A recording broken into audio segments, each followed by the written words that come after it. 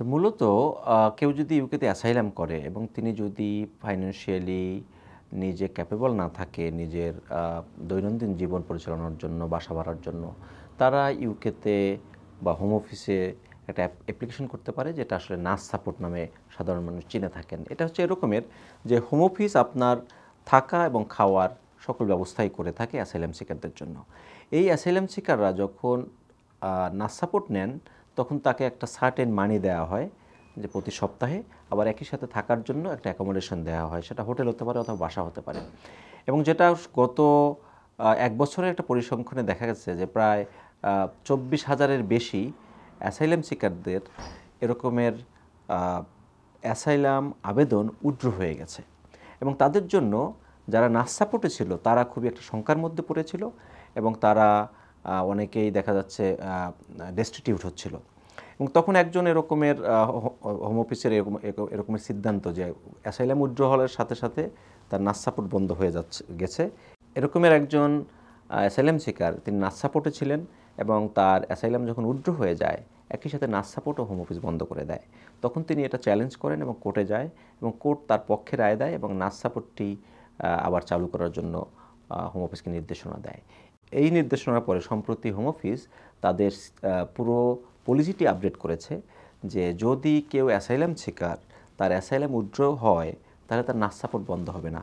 যদি বন্ধ করতে হয়, তাহলে তাকে আপিল ডেট দিতে হবে। এবং যখন তিনি আপিল করবেন, কি কারণে তার অ্যাসাইলাম উড্র হলো অথবা তিনি নার্স সাপোর্টটা স্টিল কেন পাবেন, তখন তিনি কোর্টে গিয়ে বলতে পারবেন এবং এটা চ্যালেঞ্জ করলে তিনি তখন নার্স সাপোর্ট পাবেন। এর আগে যেটা ছিল, সেটা হচ্ছে যে আপনি আপিলের সুযোগ দেওয়া হচ্ছিল না। বলা হচ্ছিল যার অ্যাসাইলাম উড্র হয়েছে, সাথে সাথে নার্স সাপোর্ট বা হোম অফিসের যে সুবিধা, এটা বন্ধ হয়ে যাবে।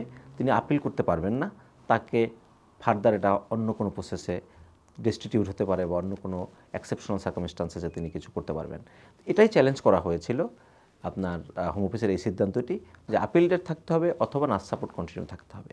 তো এখন এই নতুন যে গাইডেন্সটি এসেছে, সেখানে বলা হয়েছে যদি অ্যাসাইলাম উড্র হয় কোনো কারণে তখন এই যারা যারটা উড্র হবে, তিনি আপিল করার সুযোগ পাবেন এবং যখন আপিল করবেন, তখন তার এটা কিন্তু নার্স সাপোর্টটি কন্টিনিউ থাকবে।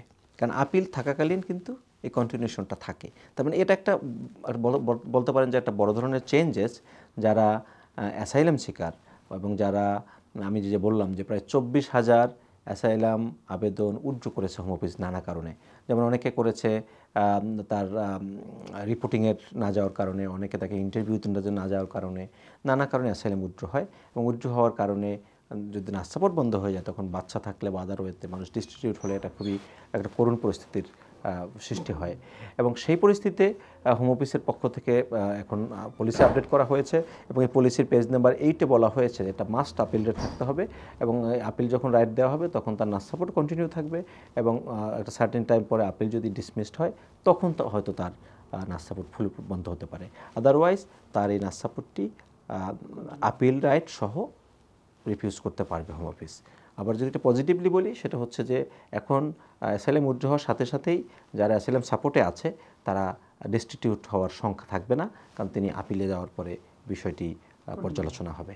তো এটা একটা পজিটিভ উদ্যোগ অ্যাসাইলাম শিকারদের জন্য এবং অ্যাসাইলাম শিকার এবং যারা কোনো কারণে অ্যাসাইলাম উজ্জ্ব হয়ে যায় বা কোনো সমস্যাগ্রস্ত হয় তখন তাদের এই নার্স সাপোর্ট কন্টিনিউ থাকবে এবং আপিল করার সুযোগ তারা পাবে।